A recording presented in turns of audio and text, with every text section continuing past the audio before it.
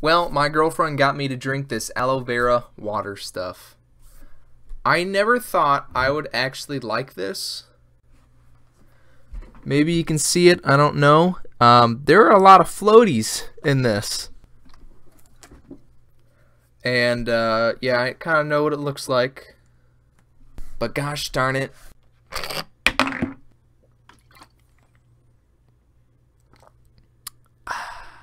It's good. If you have ever had boba tea, this is probably the closest you're going to get to it in the wild.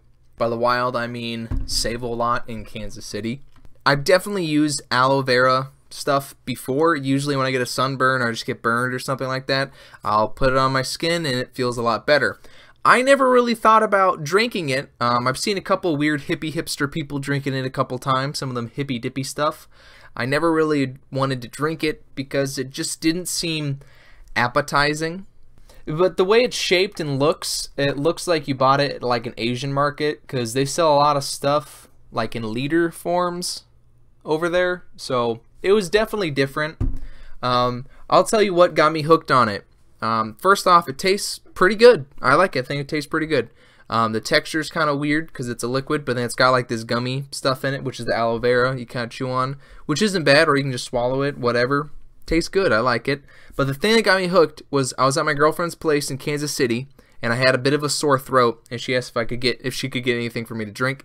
I said sure. She said, "How about I get you some aloe vera water?" Uh, I was a little skeptical about it, but then she brought it over to me in a little glass and said, "Here, just try it." I was like, "Okay." and I liked it. And you know what? Within a couple minutes, my sore throat went away. That's when I became a believer, full-hearted believer. I, I I love things that make you feel better and make you not sick anymore without going to the doctor, and this is one of them. Uh, my trip back from Kansas City back to Davenport, I drank a whole liter of this. I had to stop to take a pee many of times, far more, and I made my trip much longer than I needed to by drinking one of these. Uh, but I definitely like it. Now, the only difficulty I have is trying to find it here in Davenport. Kansas City is a lot bigger in Missouri, and there's a lot more places there that sell this. Now, out here a little more in the Midwest, not so much. My girlfriend told me about this story that concerns aloe vera, where this guy was hiking and just found a bunch of wild aloe vera plants, busted open the leaves and got a spoon, just started digging it and shoveling it in his mouth. He ate so much of it that when he went to the doctor, they said, You're sterile. And he said, Well, what the heck? And they said, Well, you ate so much concentrated aloe vera that you're sterile. You can't have kids anymore.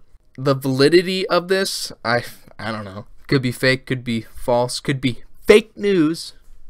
But uh, nonetheless, you know, hey, I'm not going to have kids for a little bit, so I guess it's okay. And it doesn't seem like it's too bad. There's some sugar, there's no protein, uh, some salt. All in all, it's pretty good. So if you have the chance, I'd definitely say go try it. I'm not one to actually go out and try new drinks, but it's definitely something that I kind of liked, and you might like it too yourself. Before I finish up this little video, I want to say two things. One is thank you, Ooh for your comment a couple days ago saying, Ripperoni, try for a new one then, about my job. Thank you for your condolences. It's highly appreciated. Stay strong, Ooh. Second, I want to thank 89 Cricks. Yeah, I have no idea what that means. I don't know if I really want to know what that means. But thank you for subscribing. It's highly appreciated. I am still trying to uh, get 100 subscribers. It's been almost a year now I've had my challenge going, just trying to get to 100 subscribers. But, you know, whatever. Thank you for subscribing. I appreciated it. If there's certain kind of videos or topics you want me to address, please say something in the comments. That's why I do YouTube. I like the community here. Even though it's a very small community, communities tend to grow with love and care. So when you subscribe, I'll always give you a shout out as much as I can and say thank you for pressing that one little button and that one tenth of a calorie you burned to click it. Thank you.